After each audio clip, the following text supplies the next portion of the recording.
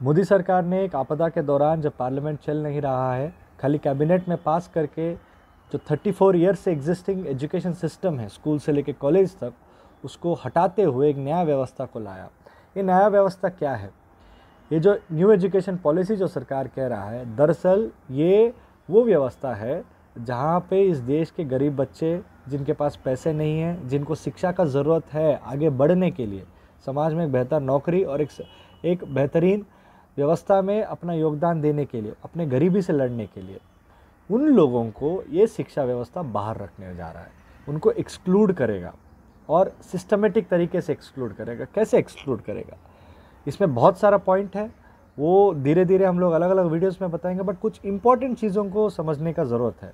पहला चीज़, जो higher education में ये कह रहे हैं कि चार साल का ये लोग एक ग्रेडेड डिग्री जहाँ पे आप अगर एक साल पढ़ाई करने के बाद आप पढ़ाई नहीं कर पा रहे हैं तो आप निकल जाइए, कभी भी वापस आके आप पढ़िए। मल्टीपल एंट्री और एग्ज़िट का चार साल का डिग्री की बात ये कह रहे हैं। इनका ये कहना है कि जिनके पास पैसे नहीं है, वो एक साल पढ़ेंगे, जब उनके पास पैसे वापस आ जाएँगे, वो चार, कभी भी ज़िंदगी में वापस आके वो इस पढ़ाई को पूरा कर सकते हैं। दरअसल आप सोचिए, ये ग्रेडेड इनक्वालिटी है।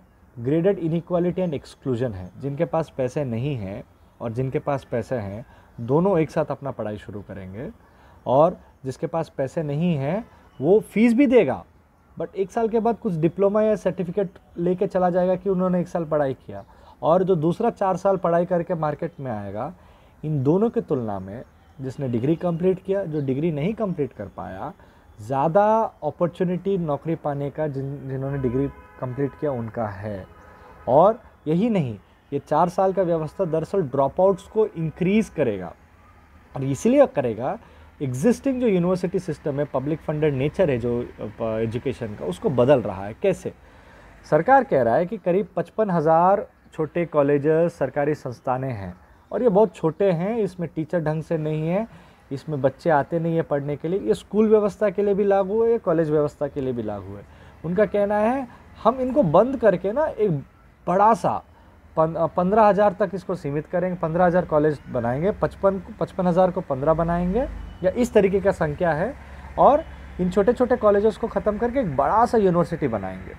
उस बड़े से यूनिवर्सिटी में तीन हज़ार से ज़्यादा बच्चे होंगे, टीचर भी होगा, और इस यूनिवर्सिटी को, यूनिवर्सिटी नहीं, बल्कि हायर एजुकेशन इंस्टीट्यूट कहा जाएगा, और इसको अधिकार है अपना फ़ीस तय करने का। सरकार नहीं बताएगा इनको, इसको अधिकार है अपना कोर्स तय करने का। सरकार नहीं बताएगा। तो ये अपने मन मर्ज़ी से फ़ीस बढ़ा सकते हैं पब्लिक हो या प्राइवेट हो। अपने मन मर्ज़ी से बढ़ा सकते हैं, अपने मन मर्ज़ी से जो चाहिए वो पढ़ा सकते हैं।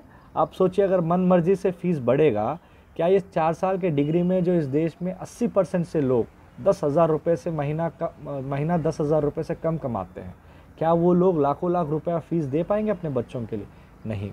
इसका मतलब ये साफ़ तौर पे बाहर करो और बाहर रखो। फिलॉसफी को ले आता है। और इसी सिलसिले में स्कूल शिक्षा में भी यही किया कि छोटे छोटे जो सरकारी स्कूल है, उसको बंद करेंगे और एक बड़ा सरकारी स्कूल बनाएँगे कोई डिस्ट्रिक्ट में। सोचिए जो गाँव में कहीं पे छोटा स्कूल है, वहाँ पे टीचर का, टीचर को कभी सरकार ने अपॉइंट नहीं किया, उस अपॉइंटमेंट को पूरा नहीं किया, उस सरकारी स्कूल को बंद करने में सरकार का बहुत बड़ा योगदान रहा है, पैसा नहीं देते हुए, अब उसी को बहाना बना के ये कह रहे हैं कि हम इन स्कूलों को बंद कर देंगे। और एक बड़ा स्कूल बनाएँगे।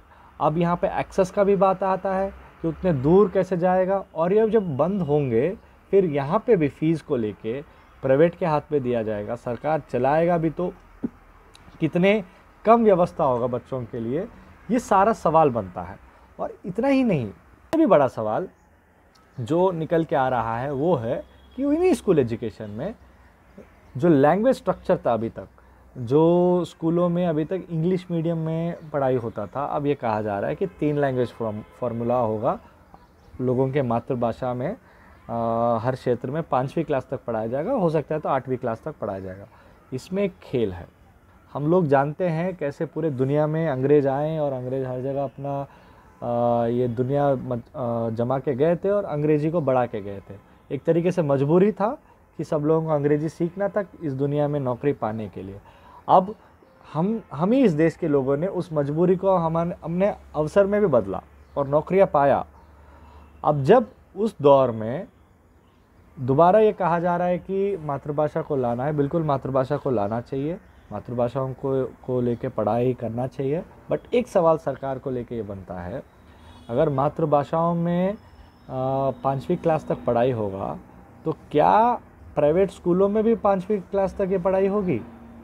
या ऐसा सिस्टम होगा कि सरकारी स्कूलों में मातृभाषा होगी और जिनके पास पैसे हैं, वो अंग्रेज़ी स्कूलों में पढ़ाएँगे अपने बच्चों को और दोबारा भेदभाव, दोबारा एक्सक्लूजन दोबारा बाहर करो और बाहर रखो वाले पॉलिसी जो है, उसको वहाँ पे भी इस्तेमाल करेंगे। इसका मतलब अगर एक गरीब बच्चा पढ़ेगा सरकारी स्कूल में, मातृभाषा में और दूसरे तरफ़ जिनके पास पैसे हैं, वो अगर अंग्रेज़ी वाले स्कूल प्राइवेट स्कूल में पढ़ाई करेंगे तो आप खुद देखिए तुलना में इन दोनों में जब वो दोनों स्कूल सिस्टम से निकल के आएँगे और जो पूरा सिस्टम बाहर अंग्रेज़ी की तरफ़ या बाकी भाषाओं की तरफ़ एक तरह से झुका हुआ है, क्या उन लोगों को मौका नहीं देना चाहिए? उनको ऑप्शन नहीं मिलना चाहिए? क्या उनको भी मजबूर करेंगे? या एक काम कीजिए प्राइवेट प्राइवेट स्कूल में भी अंग्रेज़ी बंद कर दीजिए। सब जगह पे मातृभाषा कीजिए। या अगर आप नहीं कर पाएँगे तो इस तरीके से असमता को मत बढ़ाइए। इस तरीके से इनक्वालिटी को नहीं बढ़ाना चाहिए। ये सवाल सरकार से बनता है। इतना ही नहीं, बल्कि एक और एक अहम सवाल है, जो पूरे इस ड्राफ्ट में जो कमी दिख रहा है, वो है सामाजिक न्याय। अगर सरकारी संस्थाएँ कम होगी वो स्कूल हो या कॉलेज हो, उनकी संख्या कम किया जाएगा और जहाँ पे भी होगा, अगर उनमें फ़ीस बढ़ा दी जाएगी तो ज़ाहिर सी बात है, इस देश के दलित, आदिवासी, पिछड़े लोग नहीं पढ़ पाएँगे। उनको प्राइवेट संस्थानों में आरक्षण अभी भी लागू नहीं होता है। अगर प्राइवेट संस्थानों का बढ़, बढ़ावा होगा तो इसका मतलब है कि सामाजिक न्याय और सामाजिक न्याय और रिजर्वेशन का अंत है ये। और इस पूरे डॉक्यूमेंट में इसको लेकर कोई चर्चा नहीं है। इसीलिए जो जो लोग इन बातों को कह रहे हैं कि ये सिस्टम को बदलने वाला कानून है ये सबको समानता लेके आएगा नहीं। ये सबको समानता नहीं लाएगा, बल्कि ये समानता को तोड़ेगा।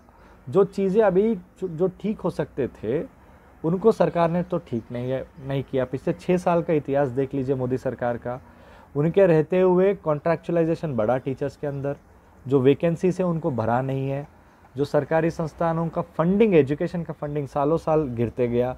अब सरकार कह रहा है, नहीं नहीं, हम अचानक छः परसेंट बढ़ा छः परसेंट जीडीपी का खर्च करेंगे आने वाले दिनों में। भाई, आपका इतिहास कहता है कि आप नहीं खर्च करते हैं। आपका इतिहास कहता है कि आप कॉलेज और स्कूलों को बंद कर देते हैं। आप अब कह रहे हैं कि वास्तव और भविष्य में आप इसको ठीक करने जा रहे हैं। हम तो आपको पीछे से ही तो जज करेंगे और आपने सामाजिक न्याय को जो मौजूदा व्यवस्था में आपने लागू नहीं किया। और दूसरे तरफ़ अब कह रहे हैं कि सारे यूनिवर्सिटीज़ में एक एग्जामिनेशन होगा एंट्रेंस एग्जामिनेशन तब यूनिवर्सिटीज़ की हायरार्की बनेगी।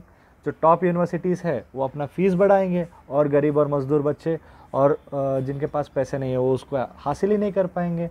वो सस्ते कॉलेजों में पढ़ना पड़ेगा। इसीलिए हमें लगता है इस शिक्षा नीति को और समझना पड़ेगा। बट ये कुछ इंपॉर्टेंट पॉइंट्स है। इस पूरी शिक्षा नीति का जो एसेंस है, वो है कि लोगों को बाहर करो और बाहर रखो। और शिक्षा के फ़ील्ड में सरकार खर्चा नहीं करेगा। सरकार की ज़िम्मेदारी नहीं है प्राइवेट की ज़िम्मेदारी है। प्राइवेट अपना नियम तय करेगा प्राइवेट अपना फ़ीस तय करेगा, सरकारी संस्थाएँ भी अपना फ़ीस तय करेगी, सरकार बस बैठा रहेगा। ये चीज़ खतरनाक है, इसको समझना पड़ेगा और बेहतर से हम लोग इन सारे चीज़ों को लेके आप आपके बीच में आएँगे, बताते रहेंगे, कोशिश करेंगे कि आपके बीच में इन चीज़ों को लेके आए।